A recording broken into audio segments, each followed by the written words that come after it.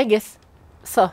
This is the OC-21 uh, short transport ship by Il Poti and you can see it kind of looks like a Star Trek ship. Alright, so the ship only has 3920 PCU, so this can pretty much be built on any survival server.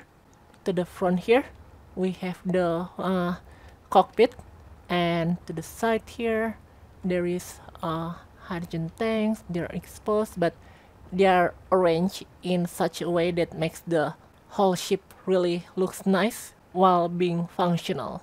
You can see how they use this uh, industrial hydrogen tank with the normal hydrogen tanks and there's oh there is some spotlights here. I can see why they use it for aesthetic but those are kind of expensive but it's fine up here there is a single assault cannon turret.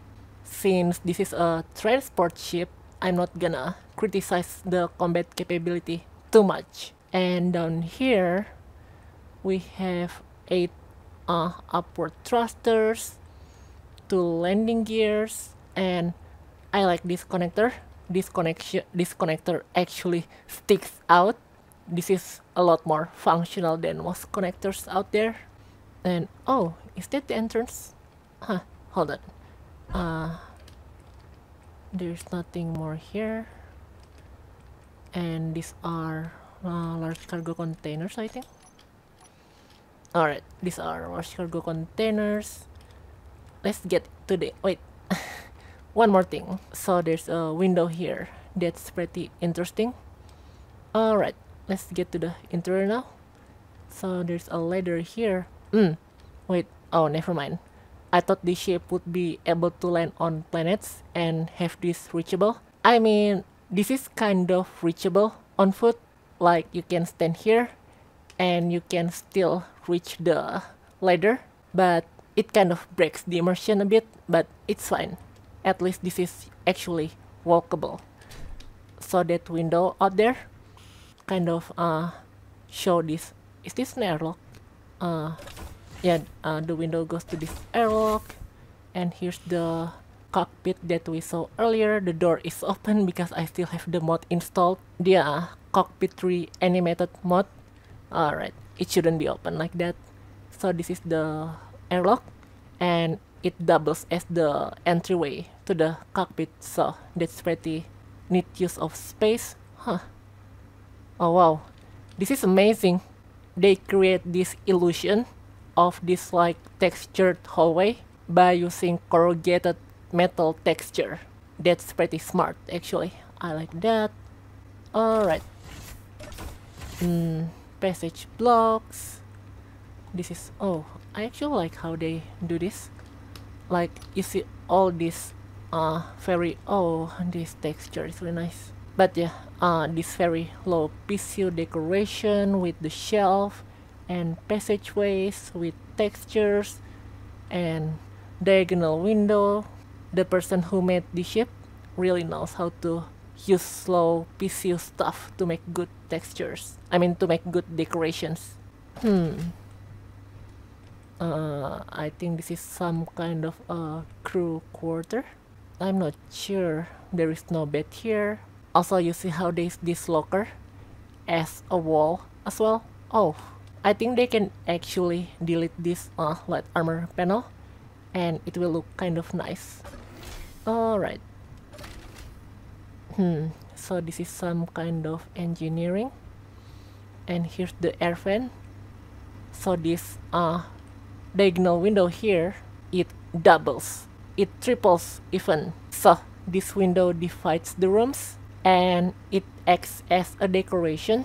And at the same time they it also allows air to go out from this room to the rest of the ship. So the ship doesn't have to use multiple air fans I mean air fans. So that's pretty smart.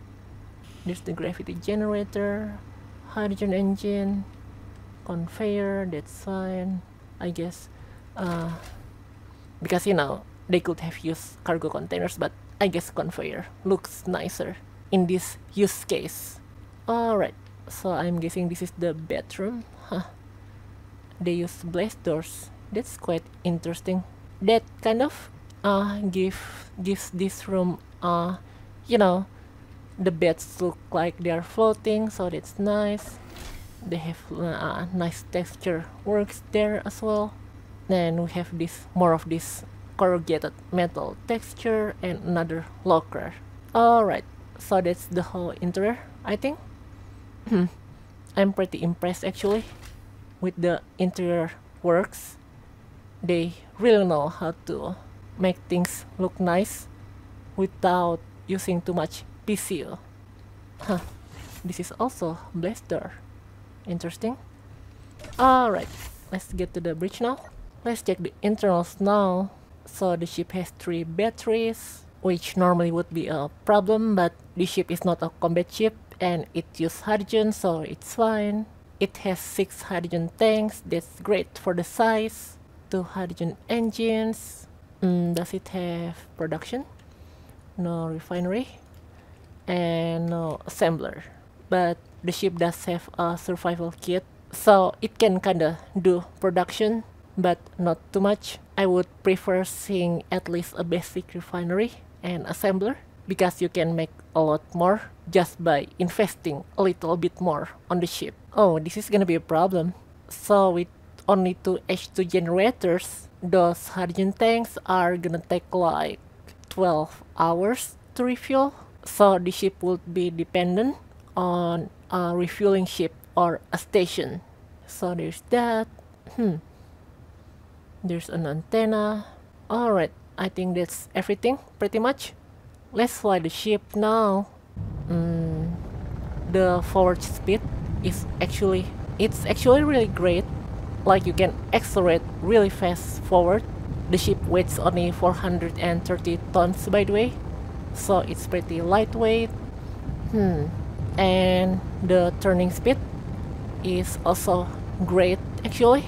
So having your main thrust forward is not ideal for combat but since I mean unless you're a charger ship or something but since this is not a combat ship that's fine. And you know it's a cargo ship so you would presumably run away or fly away when you find an enemy ship. Alright so with 8 upward hydrogen tanks I mean hydrogen thrusters the ship should be able to fly on planets. Oh I also just realized because they use this uh, cockpit out here this is a dual access cockpit as well. So that's great. So uh, the ship can fly on planets just as expected. It can even fly on Pertam it should be able to fly on Pertam so uh, the ship is actually really really good in terms of the decoration and you know the general aesthetic of the ship is you know it kind of is really spot on it's not like overdone, but it still looks nice with very low PCU as well. And functionally speaking, the ship is pretty acceptable. It's pretty decent, but you know, maybe they should add uh, some small productions to make this ship more versatile. And maybe the ship can use more H2 generators so that, you know, if you're stranded somewhere, it's not gonna take forever to refuel. Oh, let's see if the ship has reactor, by the way. So the ship doesn't have reactors. It only uh, it only used the hydrogen engines as generators, which is fine, especially for this kind of ship. Alright, let's crash the ship now. I'm gonna crash it on that cliffside over there. Huh. I'm gonna crash uh, head on. Here goes. Ah! Oh. ah. That was a pretty short one. Oh, those are the beds. Let's follow the ship flying down. oh yeah, by the way, I, I wasn't uploading videos yesterday because I got some issues with my computer, but it has since been fixed. So yeah, that's the OC-21 uh, small transport ship or short transport ship by, I forget the creator's name again by Il Poti. You can find the link in the description below.